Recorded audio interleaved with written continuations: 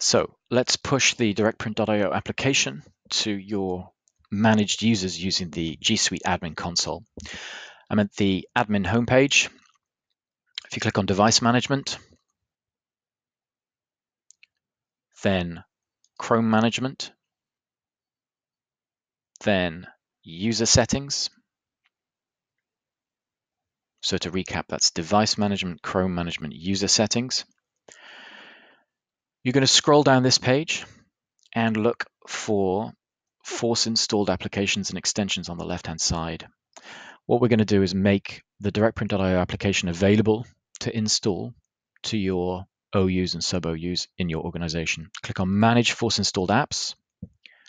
Click on Chrome Web Store. Search for directprint.io. Hit Enter. Third item on the list is the directprint.io driver. If you click on Details, it launches the Chrome Web Store, shows you that this is the correct item. If we come back into the interface, click Add, Save, and then Save down in the bottom right-hand corner. This will make the application available to be pushed or managed at an application as an application inside your organization.